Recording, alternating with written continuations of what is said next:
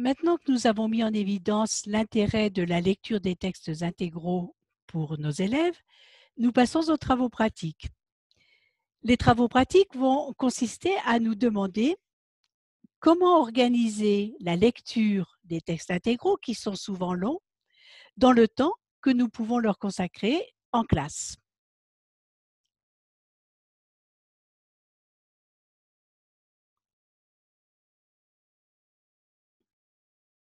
Alors, dans la seconde partie de cet exposé, je vais faire une proposition de découpage de trois textes intégraux. Sur six jours de travail, dans le cadre des horaires qui sont ordinairement consacrés au travail de lecture et de compréhension, soit pour le CE2 entre 20 et 30 minutes, pour le CME et le CM2 entre 30 et 40 minutes. Évidemment, les temps donnés pour chaque activité sont des temps moyens. Le découpage en jours, quand il ne correspond pas exactement à des chapitres, comme c'est le cas au CM1 pour quand j'étais KGB, correspond à des articulations du texte. Ni le temps que l'on alloue à l'activité, ni l'unité journée ne sont impératifs. Nous les proposons pour donner à l'enseignant des repères pour organiser lui-même sa propre progression. J'orienterai chacune des lectures sur un objectif de compréhension. La première lecture, la soupe au clou au CE2, qui est un conte. L'objectif de compréhension, c'est la construction d'une représentation de l'ensemble du texte relever les éléments pertinents, identifier leurs relations logiques. Les stratégies de compréhension, relever les mots importants, résumer, reformuler. Au CM1, pour la nouvelle Quand j'étais Kajibi, l'objectif de compréhension, suivre un personnage, mettre en relation ses émotions, ce qu'il ressent, avec la succession de ses actions et avec la succession des événements. Les stratégies de compréhension que nous allons développer, étudier le texte selon différents aspects avec le dispositif des cercles de lecture. Au CM2, pour le texte documentaire C'est quoi le patrimoine? L'objectif de compréhension que nous nous donnerons, organiser des informations et les catégoriser, construire un concept, représenter l'organisation de ce concept sous forme de schéma ou de carte conceptuelle. Et ici, nous irons du côté de la carte conceptuelle. Les stratégies de compréhension que nous allons travailler, identifier des mots-clés, distinguer un concept et ses exemples, dégager des idées générales, rendre compte des titres et attribuer des sous-titres. Nous passons donc à la soupe au clou au CE2. Je vous rappelle les objectifs de compréhension. Construire une représentation de l'ensemble du texte, c'est-à-dire relever les événements pertinents et la logique de leur enchaînement les stratégies de compréhension que nous allons travailler, relever les mots importants, résumer et reformuler.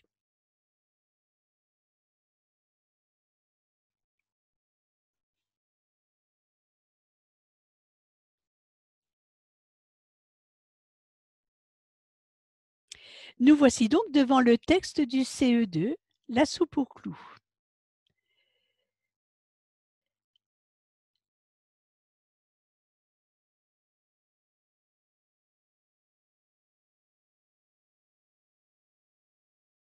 Erreur. Erreur. Euh, il nous manque une diapo. Alors, nous continuons. Voilà. Donc, tout au long de la lecture, pour le CE2, on construira un tableau de résumé. Dans ce tableau, on notera les principaux événements, ce que font les personnages et comment ils réagissent. De sorte qu'à la fin de la lecture, on pourra représenter, on pourra reconstituer la trame du texte et comprendre, mieux comprendre l'évolution des personnages. Ce tableau comprend trois colonnes et une ligne. Les têtes de colonne, quand, à quel moment se passe, euh, à quel moment sommes-nous, où, où se passe cette histoire, qui, quels sont les personnages en présence. La ligne, que se passe-t-il, dans laquelle nous relèverons partie du texte après partie du texte, les principaux événements qui permettent de, prendre conscience et de reconstituer l'organisation logique du texte.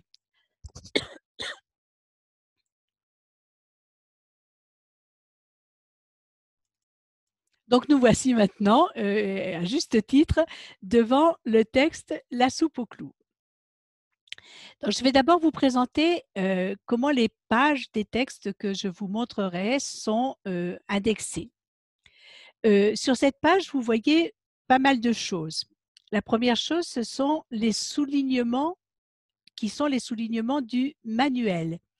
Les soulignements du manuel désignent, identifient les mots de vocabulaire qui seront définis dans la partie lexique du manuel.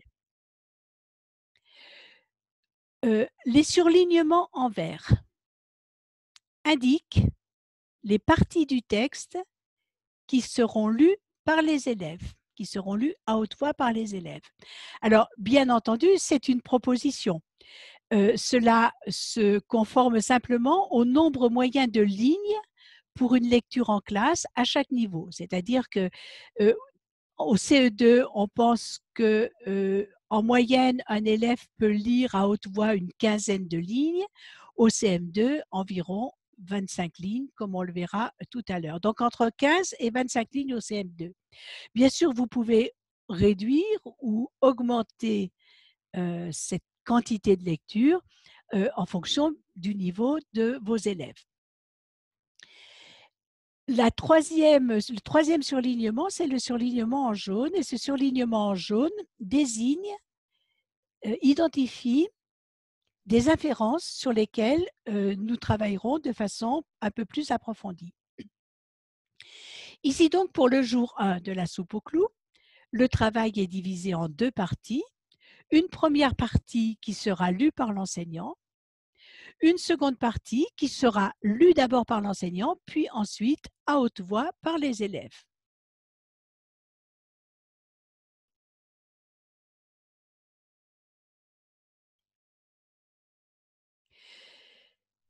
Donc, regardons l'organisation de la séance. L'enseignant fait une première lecture du texte, manuel fermé. Cela dure à peu près deux minutes. Euh, l'indication deux minutes, c'est une indication moyenne. Elle est légèrement majorée par rapport au temps de lecture par les comédiens dans l'enregistrement CD le temps, par exemple, pour la première lecture par les comédiens, c'est plutôt de l'ordre de 1 minute 40, 1 minute 30, 1 minute 40. Là, 2 minutes, ça donne un petit peu de battement pour, bah, pour ce qui se passe en classe. Donc, l'enseignant commence à lire manuel fermé. Les élèves disent ce qu'ils ont compris, formulent, éventuellement ils posent des questions. Et l'enseignant enchaîne avec une seconde lecture, cette fois manuel ouvert. Les élèves euh, regardent, euh, enfin suivent euh, la lecture sur leur manuel et cela aussi va durer à peu près deux minutes. On expliquera les mots à mesure qu'on les rencontre. Vagabond, cheminée, une chaumière, l'air renfrogné. Ce sont les mots qui sont soulignés en bleu dans le texte. Et on répondra tout de suite pour cette première partie aux questions qui sont les têtes de colonne des tableaux et à la question de la ligne, où, quand, qui, que se passe-t-il? On va donc commencer, après la seconde lecture de l'enseignant, à remplir le tableau de résumé ce tableau, je vais le détailler pour la première, euh, pour la première euh, leçon, mais ensuite, nous n'aurons certainement pas le temps de le regarder en détail, en tout cas pour la première leçon. Et pour la première partie de cette leçon, quand l'hiver, comment le sait-on? Et dans ce tableau, si on, a, si on veut, on peut introduire du vocabulaire. On voit, on, lit hein, qu'il y a des flocons, qu'il y a une branche dénudée. Quand encore Le soir. Comment le sait-on La nuit tombe, c'est l'obscurité. Ou dans la forêt, c'est écrit dans le texte. Qui? Un vagabond, c'est aussi écrit dans le texte. Alors, qu'est-ce qui se passe? Ben, Le vagabond marche dans la forêt, il a froid, il se demande où il va dormir. Et son but, c'est de dormir dans un lit. Nous mettons tout de suite, nous avons mis tout de suite ici en couleur les parties importantes, les ressorts du texte. On peut le faire directement avec les élèves ou on peut le faire a posteriori quand on a rempli deux ou trois parties du tableau en revenant en arrière et en se demandant à quel moment euh, le texte rebondit.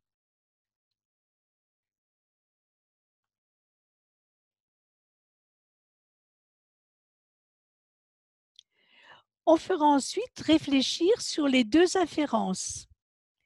La première inférence, qui est une inférence à partir du texte.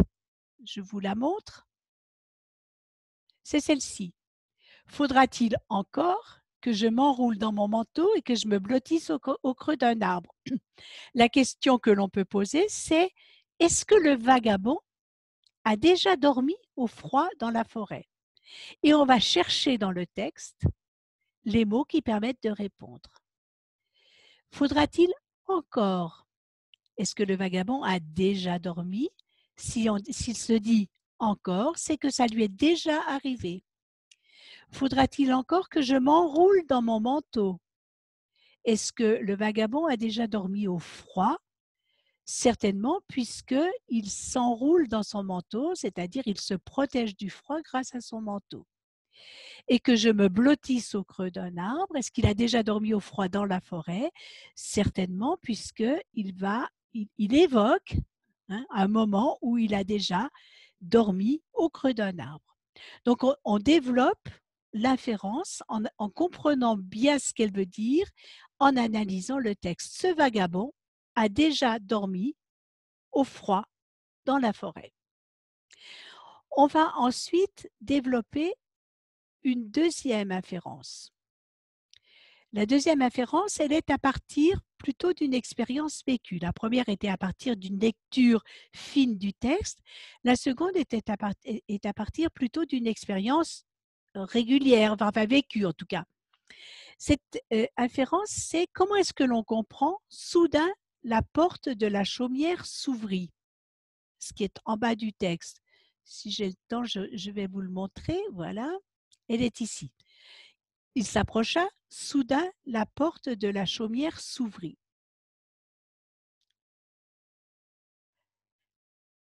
Ça, ne vous étonne pas que la porte de la chaumière s'ouvre? Comment cela se fait-il? Et donc, on va amener les élèves à réfléchir sur qu'est-ce qui se passait dans la maison pendant que le voyageur s'approchait? Qu'est-ce qu'elle faisait la femme? Où était-elle? Vraisemblablement à sa fenêtre, peut-être bien dissimulée, se cachant derrière un rideau, se demandant ce qui allait se passer, se demandant si elle allait ouvrir ou pas ouvrir, se demandant si ce voyageur était une menace, euh, un risque, un brigand, ou bien au contraire, euh, si c'était quelqu'un qui allait demander euh, comme il va le faire, l'hospitalité. Voilà. Donc, on va travailler plutôt à partir de il s'est passé un événement et cet événement a été déclenché par quelque chose que le texte ne dit pas, bien sûr. La femme surveillait. La femme surveillait les alentours quand elle a vu euh, le vagabond arriver. On arrive maintenant, toujours pour le jour 1, à la deuxième partie du texte. La deuxième partie du texte commence, je vous le montre, commence ici. Qui êtes-vous? Où allez-vous? Et que faites-vous ici? Et va jusqu'à toujours prompt à faire de la vie une chanson. La seconde partie du texte, euh, elle va d'abord être lue par l'enseignant. Manuel ouvert, les élèves suivent la lecture dans leur manuel. on explique les mots hein, euh, difficiles, les mots qui sont dans le lexique, pleurnicher, grommeler, prompt, et éventuellement d'autres mots que les élèves, bien sûr, dont les élèves demandent la signification. On reformule. Comment la femme accueille-t-elle le vagabond, qu'est-ce qu'il demande, qu'est-ce qu'elle répond, et on poursuit le tableau du résumé. Alors, quand? Évidemment, on n'a pas changé, le moment n'a pas changé, hein, on est toujours le soir en hiver, ou par contre, le lieu a changé, on n'est plus dans la forêt, mais on est à la porte de la chaumière. Qui? Le vagabond. Et on peut remarquer que le vagabond euh, est désigné à deux reprises par d'autres mots, notre voyageur ou notre ami. Donc le vagabond et un deuxième personnage qui fait son entrée, la femme. Que se passe-t-il? Et là, nous avons indiqué le vagabond et la femme. Que se passe-t-il? Il se présente, il demande un lit pour la nuit, elle prend un air renfrogné, elle refuse, il insiste, pleurniche, supplie. La femme accepte de le laisser entrer, elle cède, il peut dormir par terre près du feu et rien de plus. Et là encore, dans ce qui est, pour ce qui est en rouge dans ce tableau, on peut soit le mettre, soit le souligner directement, c'est-à-dire montrer aux élèves que c'est ça qui est important finalement dans le texte, ou bien revenir après, par après, peut-être même à la fin de cette séance, pour se demander qu'est-ce qui est important et qu'est-ce qu'on peut retenir de, de, fort dans cette partie du texte que nous venons de lire. Ce tableau, je vais vous le montrer et on va le voir se constituer jour après jour. Alors là, il est deux jours, il y a deux jours, mais voilà, premier jour, il est là. Donc, on va le voir se constituer jour après jour. Voilà notre tableau du premier jour, avec ce tableau qui se constituera au fur et à mesure. Donc, vous voyez ici, on a jour 1 jour 2, on y reviendra. Avec ce tableau donc, qui se constitue euh, au fur et à mesure, les élèves pourront, à chaque nouvelle séance, résumer l'ensemble de la lecture déjà faite en prenant appui sur le tableau. Hein. Rappelez-vous qu'un de nos objectifs de compréhension, c'est le résumé.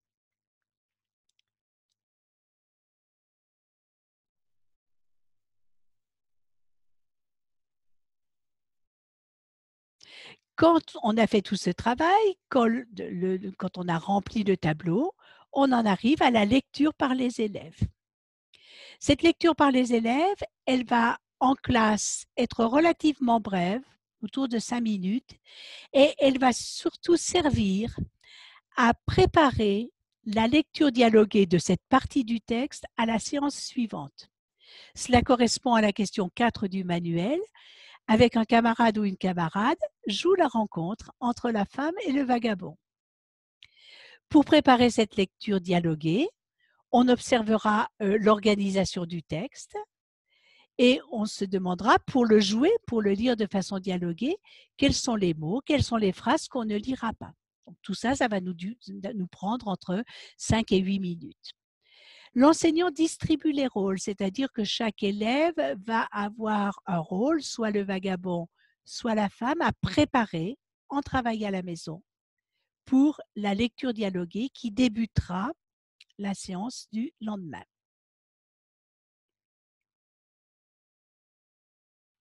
Et nous passons au jour 2.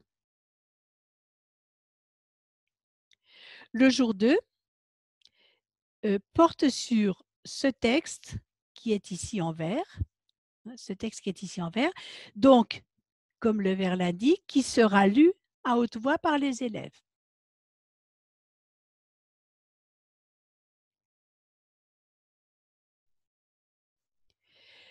Le jour 2 commence par le rappel du début du texte. Quelques élèves vont résumer ce qui a déjà été lu et pour ce faire, ils peuvent s'appuyer bien sûr sur le tableau qu'ils ont commencé, que vous avez commencé avec eux à réaliser. On va passer ensuite du temps à prendre connaissance de la lecture dialoguée préparée.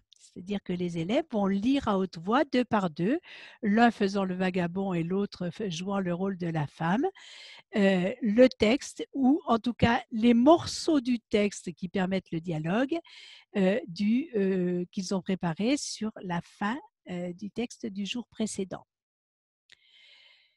Le texte du jour est lu ensuite par l'enseignant, suivi d'une lecture silencieuse des élèves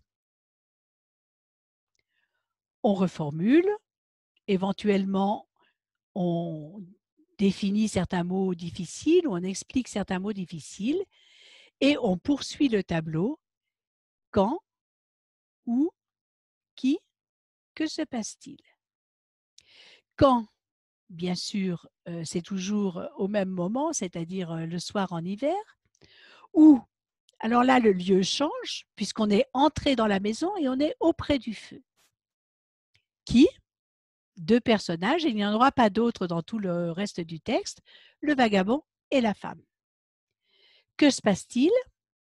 Et on va euh, mettre en évidence les interactions entre le vagabond et la femme, c'est-à-dire que fait le vagabond? Comment la femme réagit-elle? Il se réchauffe, puis il demande quelque chose de plus. Rappelez-vous, elle avait dit vous, vous, mettre près du feu et rien de plus. Il rentre, il se met près du feu et il commence à demander quelque chose de plus. Elle refuse. Comme elle refuse, il dit qu'il va partager. Elle s'étonne qu'il puisse partager quelque chose alors qu'il n'a rien. Elle lui donne un chaudron. Il remplit le chaudron et ce qui va faire l'articulation du texte, la préparation de la soupe au clou commence. La préparation commence. Après avoir fait ce tableau qui donne aux élèves une vue d'ensemble sur euh, cette partie du texte, on traitera les questions 2 et 3 du manuel. Question 2, dis tout ce que tu sais des personnages. Cette question doit permettre de récapituler ce que l'on a appris des personnages depuis le début de la lecture, c'est-à-dire depuis le jour 1. Que penses-tu de la femme? Et là, on commence à rentrer dans les nuances de ce que peut être cette femme, c'est-à-dire que au début, elle refuse, au début, elle dit qu'elle ne veut elle ne veut pas l'accepter, puis ensuite elle cède, et puis ensuite elle refuse de lui donner quelque chose, et puis ensuite finalement elle donne, etc. C'est-à-dire que on commence à voir évoluer la femme. Pour terminer cette séance, ce deuxième jour, on écoutera, si on a le temps, et je pense qu'on l'aura, le texte enregistré qui permet de récapituler et de réentendre le texte avec d'autres voix, d'autres intonations, une autre manière de narrer. Et puis, le travail à la maison qui pourra consister à relire le texte du jour ou, si vos élèves sont bons lecteurs, relire les deux pages, les deux premières pages, 128 et 129.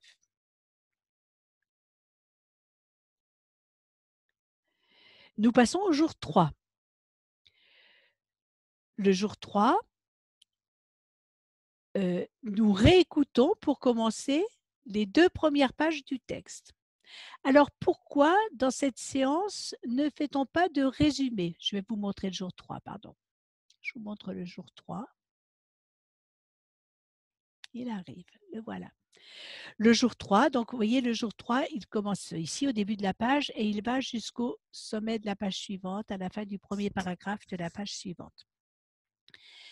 Donc ce jour 3, euh, pour euh, commencer la séance, on ne fait pas de résumé, mais on va réécouter le texte, la totalité du texte déjà lu. C'est une proposition, c'est-à-dire que ce n'est pas du tout rigide. On peut aussi euh, penser que l'enseignant résume le texte du jour 1 et fait lire par quelques élèves le texte du jour 2. Ou bien encore, on peut demander aux élèves de résumer à partir du tableau. L'important, c'est que le début du texte, ce qui a déjà été lu, soit bien présent dans la mémoire des élèves. Donc le texte va être lu par les élèves et en deux temps. Il va être lu par les élèves, vous le voyez, c'est indiqué en vert. Et il va être lu en deux temps. Un premier temps qui ira jusqu'à euh, Elle observa remuer le clou dans les bouillons. Et un deuxième temps qui se terminera par La soupe commença à épaissir. Dans ce texte lu par les élèves, vous voyez, nous avons deux afférences sur lesquelles, nous insisterons. Il le fit tourner entre ses doigts, marmonnant des mots dans sa barbe, et la soupe commença à épaissir. Donc, ce jour 3, on réécoute les premières pages du texte. Ensuite, les élèves découvrent le texte nouveau, le texte du jour, en lecture silencieuse, puis en lecture à haute voix. En lecture en haute voix, que je vous l'ai montré en deux temps, et on s'arrêtera à la fin des phrases qui contiennent des mots soulignés. Mots soulignés, c'est-à-dire des mots dont le vocabulaire est défini dans le manuel. On explique ces mots. Donc, premier temps, jusque comme je vous l'ai montré dans les bouillons. Là, on va réfléchir sur une afférence, une afférence qui va permettre de comprendre les intentions et cela consistera à traiter la première question du manuel. Pourquoi le vagabond marmonne-t-il juste avant de jeter le clou dans le chaudron? On mimera ce qui se passe. Le geste du vagabond, l'attitude de la femme telle qu'on la voit sur l'illustration, telle que le texte nous la suggère. Le deuxième temps, jusqu'à épaissir, c'est-à-dire jusqu'à la fin du texte, toujours en lecture à haute voix. On réfléchit sur une afférence et cette afférence, c'est plutôt une afférence de connaissance du monde. La soupe commence à épaissir. Pourquoi? Euh, On va soit retrouver quelque chose que l'on sait, soit apprendre quelque chose. Autrement dit, quand on met de la farine dans un liquide, ça a tendance à épaissir, quelquefois même à faire des grumeaux, mais en tout cas à épaissir. Et on va poursuivre le tableau. Alors, poursuivre le tableau, quand c'est toujours le même moment, ou c'est toujours le même lieu, qui ce sont toujours les mêmes personnages. Ce qui est important, bien sûr, c'est que se passe-t-il? Que se passe-t-il? C'est une, demande ou plus une suggestion supplémentaire du vagabond. Ça serait bien si on pouvait ajouter.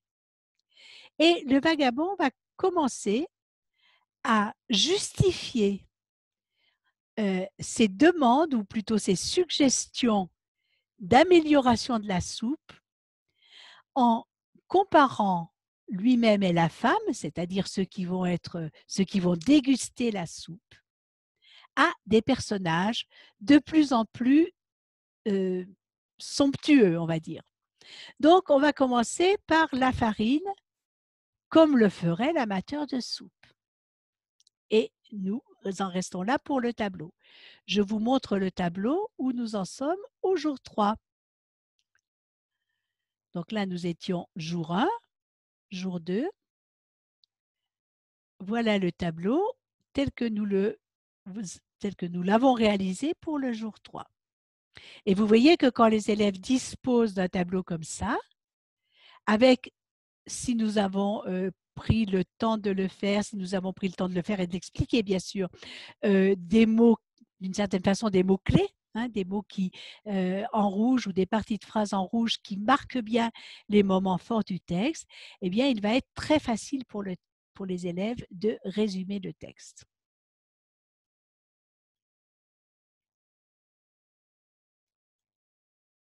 Donc, on a poursuivi le tableau et le travail à la maison va consister, là encore, puisque nous sommes dans un texte qui comprend beaucoup de dialogues, nous allons centrer la lecture orale sur la lecture dialoguée et on préparera à la maison la lecture dialoguée de la page.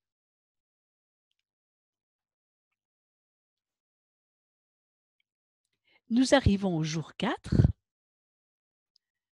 Je vous le montre dans le manuel. Donc le jour 4 commence ici, c'est la page euh, suivante commence à vous savez, ajouta le vagabond, et il se termine par leur mettait l'eau à la bouche. Ce jour 4, c'est un jour où on insistera beaucoup, parce qu'il y a beaucoup à comprendre, on insistera beaucoup sur la compréhension à partir de l'oral, c'est-à-dire euh, c'est l'enseignant qui lit l'ensemble du texte. L'enseignant va lire et faire travailler l'ensemble du texte en trois temps, vous voyez, séparés par ici des euh, mini traits rouges, un premier temps, un second temps, un troisième temps.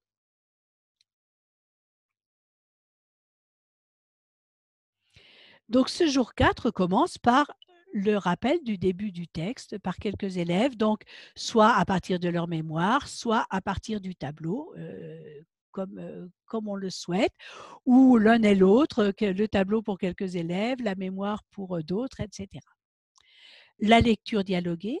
Bien sûr, tous les élèves ne peuvent pas lire ce texte en cinq minutes, mais en gros, en cinq minutes, on peut avoir, on peut faire lire six ou huit élèves, au moins six élèves.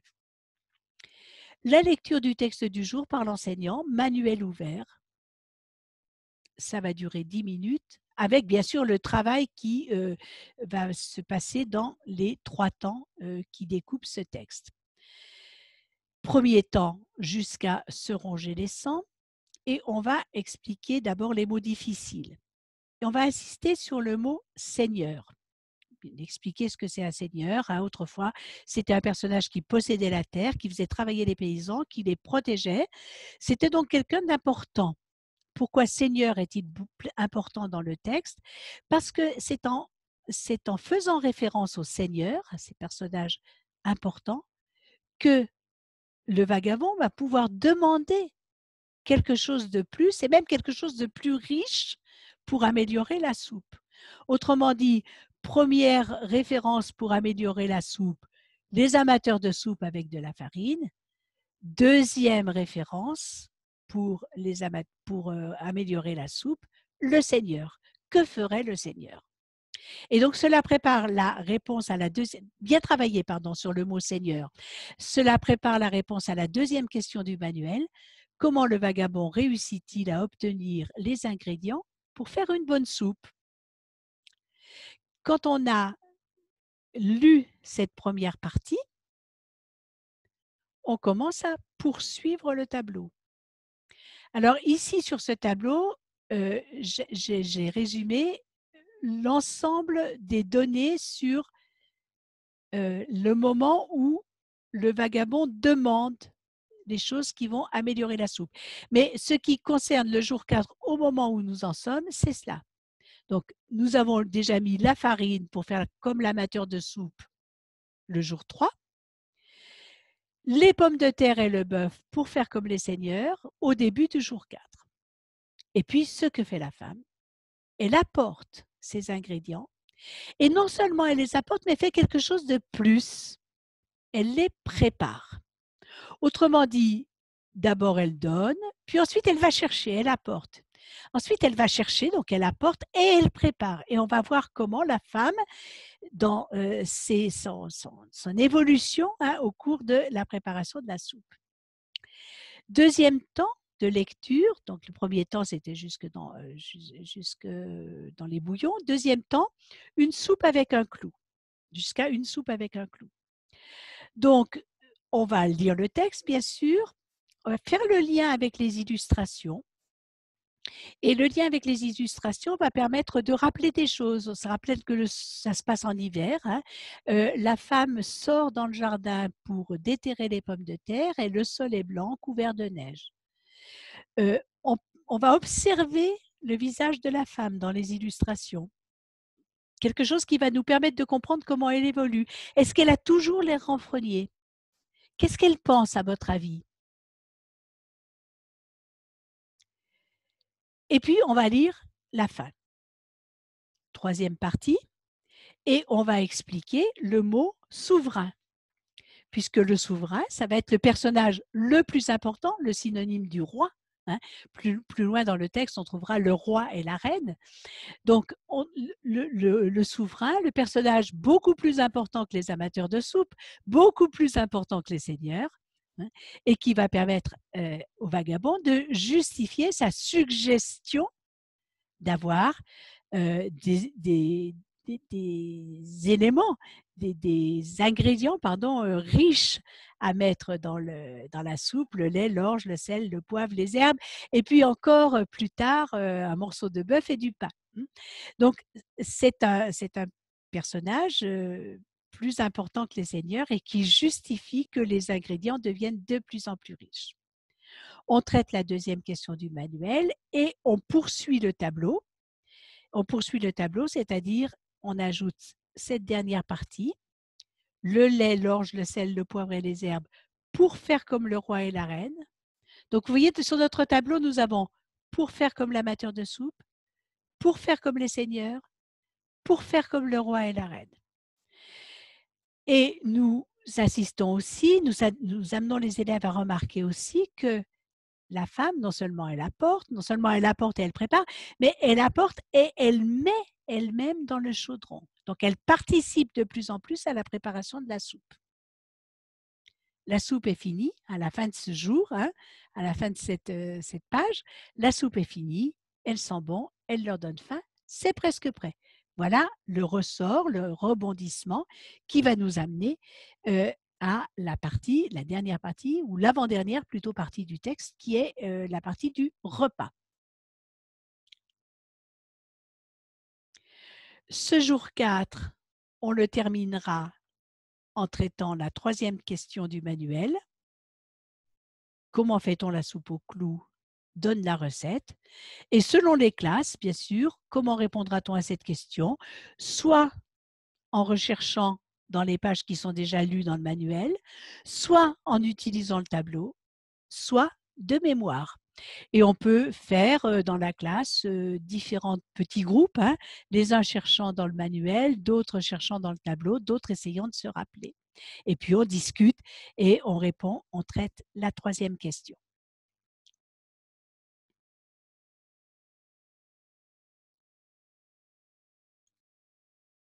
Voici notre tableau tel que le, il se trouve, tel qu'il est à la fin du jour 4.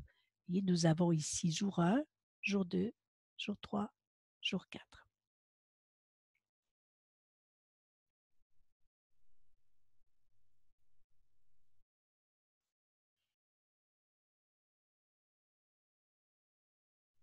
Alors nous passons au jour 5. Le jour 5, euh, porte sur la page de gauche. Je n'arrivais plus à me repérer. Le jour 5 porte sur la page de gauche euh, et il est découpé en deux parties. La première partie qui va être lue par les élèves, la seconde partie qui sera lue par l'enseignant. Dans la première partie, une euh, inférence sur laquelle on travaillera plus particulièrement et euh, un mot, deux mots je ne vois plus lesquels, deux mots, peut-être trois même, je ne trouve pas. Non, deux mots, qui sont définis dans le texte. Donc ce jour 5,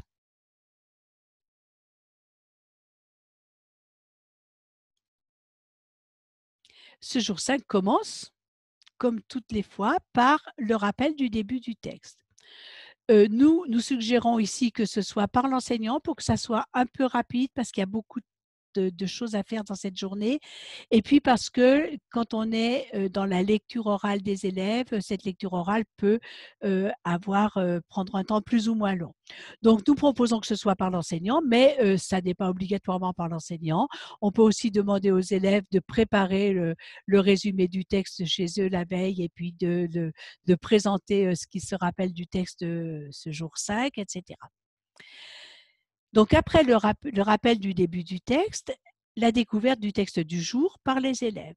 Donc les élèves vont lire, hein, d'abord en lecture silencieuse, puis en lecture à haute voix. Euh, le texte du jour, c'est-à-dire la partie du texte lu par les élèves.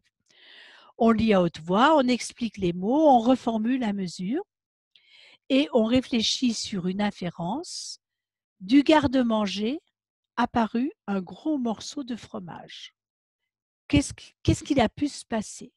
Est-ce que le gros morceau de fromage est apparu comme ça? Euh, comment, comment ce gros morceau de fromage arrive-t-il sur la scène?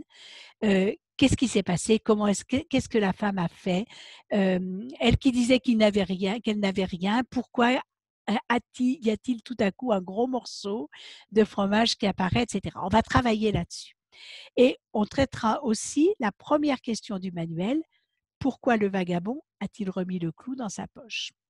Puis, on poursuit le tableau. On poursuit le tableau sur la partie du texte que viennent de lire les élèves. Alors, on est toujours dans la maison avec le vagabond et la femme. Et que dit le vagabond? Ben Maintenant que la soupe est prête, on va dresser, ça serait bien de dresser une belle table et vous pouvez relever le vocabulaire de la belle table, hein, une belle vaisselle, une nappe, des grands verres, des fleurs, etc. Et ça serait même bien de compléter le menu par du pain et du fromage. Donc, que se passe-t-il? Ben, La femme imagine que lui et elle sont le roi et la reine et elle est heureuse. Le texte dit, elle exulte. L'enseignant lit la fin de la page, ce qui va prendre cinq minutes avec le travail, bien sûr. Euh, on reformule, on explique les mots et on poursuit le tableau. On poursuit le tableau, c'est-à-dire on ajoute ce que l'enseignant vient de lire. Il mange la soupe, il parle, il se raconte des histoires. Pour la femme, c'est la meilleure de toutes les soupes.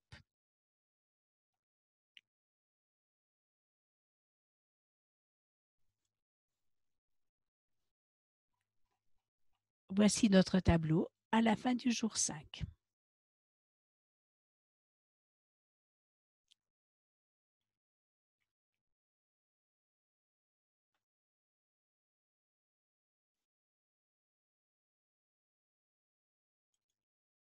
Et nous passons au jour 6.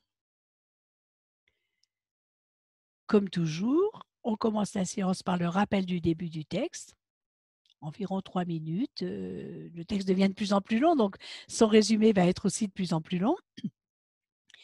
Et euh, l'enseignant lit la dernière page du texte jusqu'à l'épilogue. J'ai oublié de vous montrer le texte. Ben voilà. Donc, le dernier jour, c'est ce texte-ci.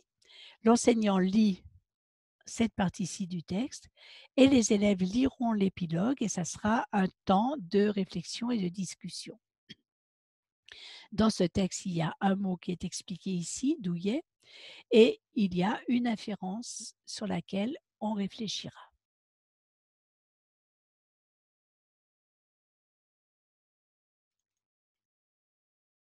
Donc, l'enseignant lit la dernière page du texte. Ce travail va durer à peu près 10 minutes avec, bien sûr, le travail d'explication, etc.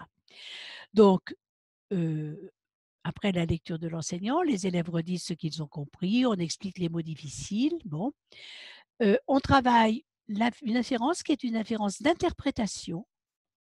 Vous m'avez maintenant, vous m'avez vraiment, pardon, appris quelque chose. Maintenant, je sais faire la soupe au clou.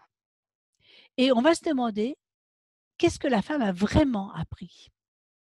Et ça va permettre de commencer à réfléchir sur les notions d'hospitalité sur lesquelles on discutera ensuite. On insiste sur la compréhension de la femme. Pourquoi est-ce que la femme sourit? Au début, vous vous rappelez, elle avait l'air renfrognée. Et puis, elle a évolué tout au long de l'histoire et à la fin, elle sourit. Donc, on va traiter la question 3 du manuel. Comment est la femme au début de l'histoire? Comment son visage change-t-il tout au long de l'histoire? Comment est-elle à la fin? Et qu'a-t-elle appris à la fin?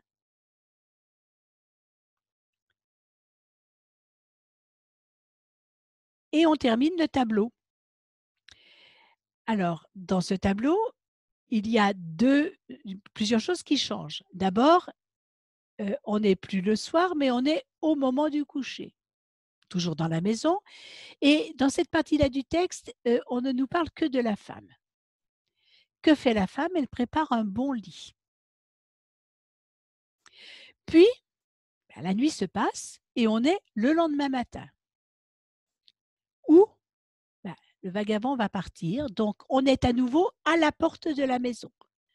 On était au début à la porte de la maison et la femme refusait l'entrée.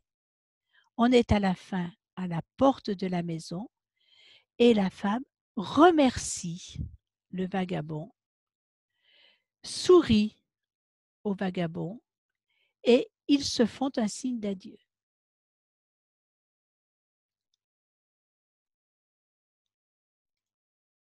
Voilà notre tableau à la fin de la lecture du texte. Ici, vous trouvez en bleu les mots qui montrent l'évolution de la femme? Un air renfrogné, elle est heureuse, elle sourit. Elle refuse, elle remercie. Alors, on peut faire ça avec les élèves, on peut le faire remarquer, on peut le souligner à ce moment-là. Voilà, tout ce travail-là va être le travail de synthèse sur tout ce qu'on a, sur ce qu'on a lu et ce qu'on a appris par ce texte. Euh, une fois qu'on a fait ce tableau, euh, c'est au tour des élèves de lire l'épilogue, d'abord silencieusement, puis à haute voix. On discutera sur les deux premières phrases. Les deux premières phrases, c'est en fin de compte, il ne lui avait pas joué un bon tour car il lui avait ouvert le cœur. Alors, bien sûr, il ne lui avait pas joué un bon tour il faut discuter, c'est-à-dire est-ce que le vagabond n'est pas finalement un manipulateur, hein, quelqu'un qui est suffisamment roué pour obtenir tout ce qu'il veut en racontant des, des, des, des des blagues, ou bien est-ce que c'est quelqu'un qui permet, car il lui avait ouvert le cœur, est-ce que c'est quelqu'un qui permet à celui qu'il rencontre ou cette femme qu'il a rencontrée de donner ben, le meilleur d'elle-même, c'est-à-dire d'être bienveillante, d'être accueillante, etc. On va donc amener les élèves à discuter là-dessus, euh, à discuter sur ce point-là. Qu'est-ce qu'ils en pensent? Est-ce que le vagabond, c'est simplement quelqu'un qui profite de la femme et qui profite de l'hospitalité pour obtenir tout ce qu'il veut? Ou est-ce que finalement le vagabond n'est pas quelqu'un qui donne, qui fait aussi un cadeau à la femme, c'est-à-dire le cadeau de se découvrir accueillante, bonne, hospitalière, etc.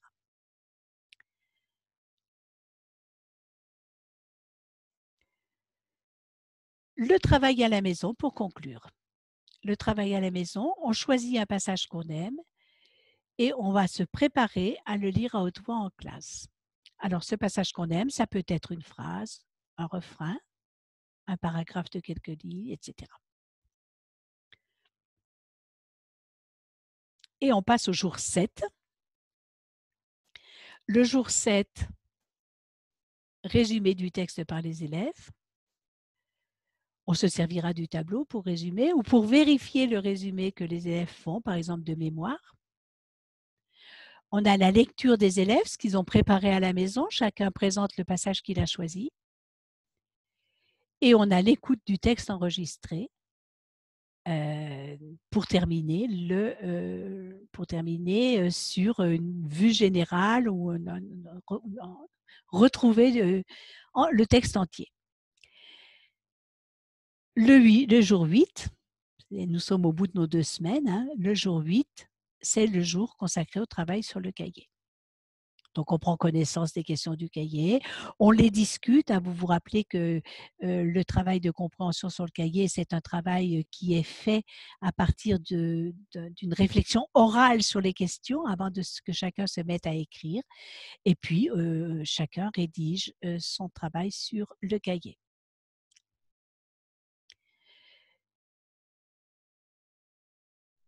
Il nous reste des semaines qui sont, qui sont en général laissées euh, à l'appréciation de l'enseignant et qu'on appelle des semaines de révision. C'est-à-dire chaque, chaque module étant prévu pour euh, euh, trois à quatre semaines. Donc, pendant ces semaines de révision, qu'est-ce qu'on peut faire? On fera d'abord la discussion qui est dans le manuel. Qu'est-ce que c'est qu'accueillir? On pourra écouter à nouveau le texte enregistré.